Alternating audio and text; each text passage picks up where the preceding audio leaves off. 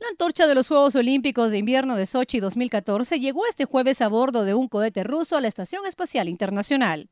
El cohete, en el que iba la antorcha apagada por motivos de seguridad y tres astronautas, partió de la estación rusa de Baikonur y se acopló a la ISS seis horas más tarde. Hemos llegado, dijo un portavoz de la misión de control, al mostrar por la televisión rusa el acoplamiento en directo de la nave Soyuz TMA. Dentro iban el astronauta ruso Mikhail Turin, el estadounidense Rick Mastrakio y el japonés Koichi Wataka. El cohete Soyuz estaba adornado con el símbolo de los Juegos Olímpicos de Invierno de Sochi y los anillos olímpicos.